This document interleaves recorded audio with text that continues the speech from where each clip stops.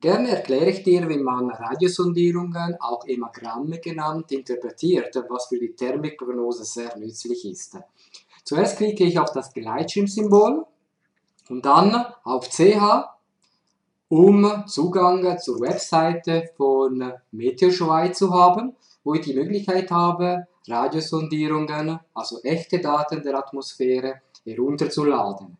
Und das nämlich für verschiedene Regionen und für zwei verschiedene Zeitpunkte. Ich entscheide mich für die Radiosondierung von Payerne von 22. November um 13 Uhr lokale Zeit. Und so sieht die Radiosondierung aus. Ich kann mit der Interpretation beginnen und da muss ich zwei Dinge wissen.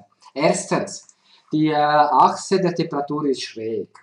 Das heißt, wenn diese rote Linie, die sogenannte Zustandskurve, die abbildet, welche Temperatur die Atmosphäre auf verschiedener Höhe hat, wenn diese rote Linie entlang von diesen schwarzen Linien verlaufen würde, noch besser, wenn sich diese rote Linie da befinden würde, wo die schwarze Linie ist, dann würde heißen, dass auf jeder Höhe man eine Temperatur von 0 Grad hätte. Das wäre eine mächtige Isothermie eigentlich. So etwas gibt es gar nicht in dieser Form.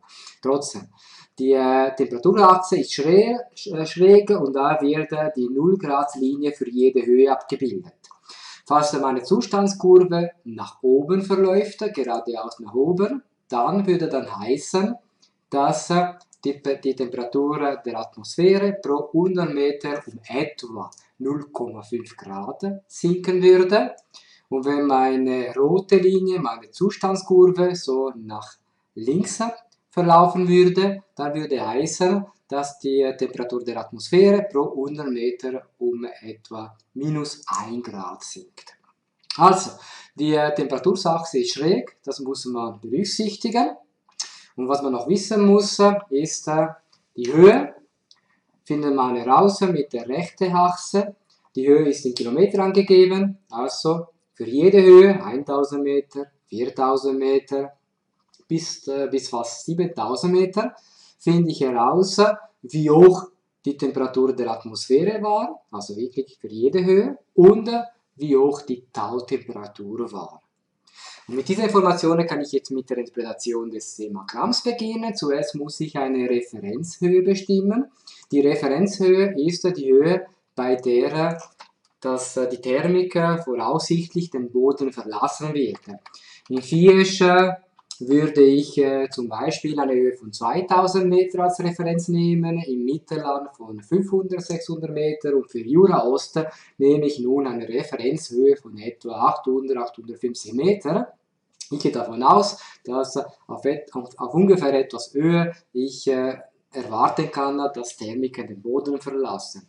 Auf dieser Höhe, 800, 850 Meter, hatte die Atmosphäre eine Temperatur von äh, etwa 0 Grad und äh, die Tautemperatur betrug äh, etwa minus 4 Grad. Das heißt konkret, würde jetzt plötzlich die Temperatur der Atmosphäre von 0 Grad auf minus, auf minus 4 Grad sinken, dann würde sich wahrscheinlich Nebel oder Hochnebel bilden. Meine Thermik wird auf 800 Meter äh, den Boden verlassen und die Tautemperatur in der Thermik beträgt minus 4 Grad. Und jetzt muss ich wissen, dass je höher meine Thermik steigt, desto tiefer wird der Luftdruck, deswegen wird auch die Thermik größer, aber auch die Tautemperatur nimmt in der Thermik ab. Und äh, du musst nicht gerade verstehen, warum das so ist. Es gibt selbstverständlich physikalische Gründe dafür, aber das ist eine Tatsache, die du kennen musst. Mit anderen Worten, wenn meine Thermik steigt, wird die Taubtemperatur in der Thermik immer tiefer sein. Und ich muss wissen, wie tief. Und um diese Frage zu beantworten, brauche ich die Mischungsverhältnislinie. Jetzt gehen wir von diesem Szenario aus. Meine Thermik verlässt auf 800 Meter den Boden, hat eine, Temperatur, eine Tautemperatur von minus 4 Grad und meine Thermik steigt und steigt und steigt bis auf 4000 Meter. Und mit der Mischungsverhältnislinie erfahre ich, dass auf 4000 Meter die Taupunkte von minus 4 Grad auf minus 9 Grad gesunken ist. Das ist eine erhebliche Abnahme und dies ist durchaus relevant, um herauszufinden, wo sich die Quellwolken bilden werden. Das ist auch die Grenze, die ich dann nicht, nicht überschreiten darf, weil wenn ich eine Wolke fliege, das ist weder eine gute Idee, noch ist das legal. Gut, also mit der Mischungsverhältnislinie finde ich heraus für jede Höhe, wie hoch die Tautemperatur ist und nun muss ich wissen, wie warm meine Thermik ist, bevor sie beginnt zu steigen.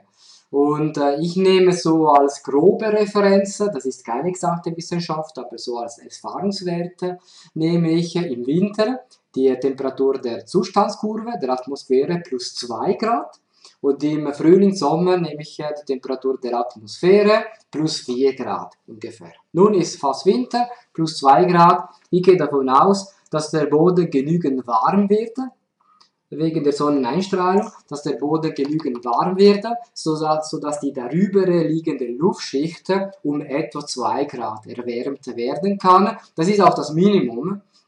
Mindestens 2 Grad mehr muss es sein, mehr als die Temperatur der Atmosphäre, sodass die Thermik überhaupt beginnen kann zu steigen. Also meine Thermik wird wahrscheinlich am Anfang eine Temperatur von ungefähr 2 Grad haben.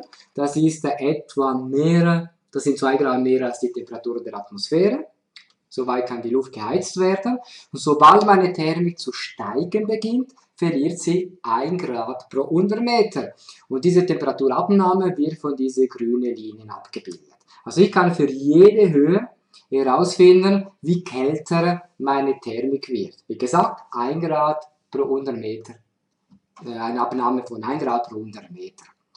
Und äh, meine Thermik steigt, trocken diabatisch, es bildet sich keine Wolke, bis die Tautemperatur erreicht wird. Also da, wo sich die Mischungsverhältnislinie und die Trockendiabate kreuzen, auf dieser Höhe, das ist letztendlich die Höhe, wo meine Thermik die Tautemperatur erreicht. Und das ist ungefähr 1600 Meter. Das ist die Temperatur, bei der sich meine Quellwolke bildet. Da ist Game Over.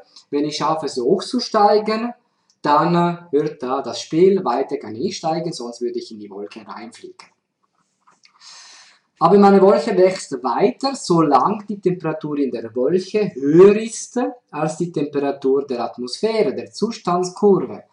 Nun, weil Kondensationswärme frei wird, nimmt die Temperatur in der Wolke mit der Höhe langsamer ab als in einem trockenen diabatischen Prozess. Mit anderen Worten brauche ich jetzt eine andere Linie, die eine Temperaturabnahme pro 100 Meter von im Durchschnitt 0,6 Grad abbildet. Und das ist die Feuta-Diabate, das ist diese türkische gestrichelte Linie, die ich als Referenz nehmen muss.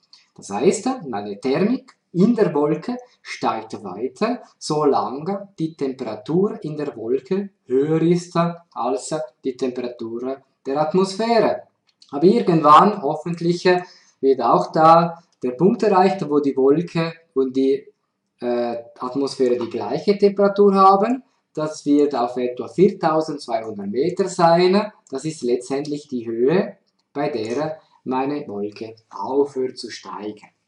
Gut, das heißt für diesen Tag, vorausgesetzt, dass der Boden äh, von Schnee frei ist, weil sonst kann der Boden gar nicht geheizt werden, vorausgesetzt, äh, dass eben der, äh, der Boden die Luft überhaupt heizen kann, dann, wenn ich das packen kann, könnte ich an diesem Tag äh, in Jura bis auf eine Höhe von etwa 1600 Meter steigen. Spätestens dann ist fertig, weil sonst würde ich eine Wolke reinfliegen, aber meine Wolke kann durchaus weiter wachsen bis auf eine Höhe von etwa 4200 Meter und erst dann ist dann fertig, weil eben die Wolke und die Atmosphäre auf dieser Höhe die gleiche Temperatur haben. Das ist schon eine ziemlich große Wolke, wenn man denkt, es ist äh, spät Herbst.